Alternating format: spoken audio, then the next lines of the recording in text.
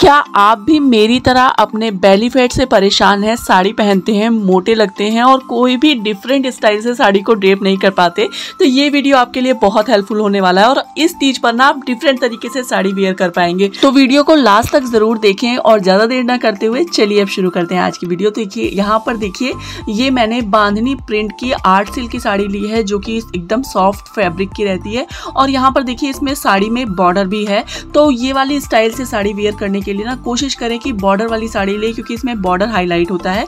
तो यहाँ पर देखिए, मैंने क्या किया सिंपली साड़ी को जैसे सिंपल वेयर करते समय साड़ी को टक करते हैं, बस वैसे ही मैंने टक कर लिया। और हाँ साड़ी पहनने से पहले ही ना आप अपनी हिल्स वगैरह जो भी आपको पहननी है, पहन लीजिए तो उससे साड़ी ऊँची नहीं होती, नहीं तो फिर बाद में आप हिल्स पहनते हैं तो साड़ी ऊँची हो जाती है। तो देखिए सिंपली साड़ी को टक करने के बाद अभी रफली मैंने ऐसे ही पल्लू को सेट कर लिया है, जिससे कि हम पल्लू का मेज़रमेंट ले लें। तो यहाँ पर देखिए, पल्लू एकदम लंबा रखना है, एकदम फ्लोर लेंथ का पल्लू आपको इस ड्रेपिंग के लिए रखना है।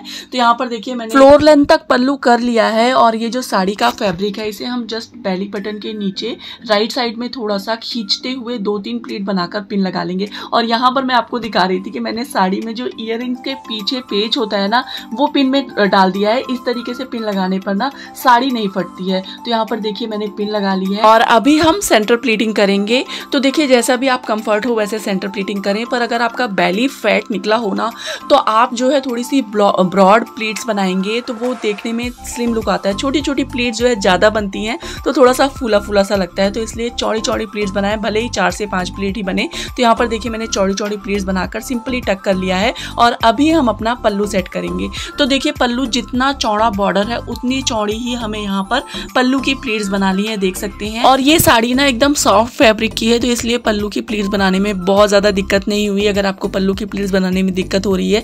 तो पिछला वीडियो जो है मैंने शेयर किया है, आप कैसे आसानी से पल्लू के प्लीट्स बना सकते हैं तो वो वीडियो आप जाकर देख लीजिएगा। तो यहाँ पर देखिए, पल्लू की प्लीट्स को अरेंज करते हुए पीछे से ही मैंने लेफ़्ट शोल्डर पर देख सकते हैं, इस तरीके से पल्लू रख लिया है और पल्लू एकदम एंकल लेंथ तक है, देख सकते हैं वीडियो में क्लियरली दिखाया जा रहा है। अभी हम सिंपली शोल्डर पर देख सकते हैं पिन लगा लेंगे।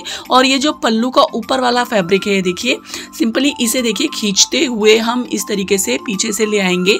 सेंटर प्लेट के नीचे इसे खींचते हुए हम पिन लगा लेंगे। तो इस तरीके से देखिए बॉर्डर हाइट हाईलाइट हो रहा है और बहुत ही आसानी से, बहुत ही सुंदर तरीके से आप साड़ी वेयर कर लेंगे और सच में इस तरीके से ना एकदम स्लिम फिट लुक आता है। ज़रूर से ट्राई करिएगा और किसी भी शादी पार्टी फ़ंक्शन में आप इस तरीके से पहन सकते हैं। एकदम सिंपल लुक आता है और एकदम स्लिम फिट भी लगता है और कितनी आसानी से आपने इसे वेयर कर लिया। और पूजा के लिए भी आप इसे पहन सकते हैं। सर पे पल्लू कैसे रखेंगे तो उसके लिए मैं अभी आपको आगे बताने वाली हूँ। तो देखिए सर पे पल्लू रखने के लिए ना आप एक दुपट्टा ले लीजिए।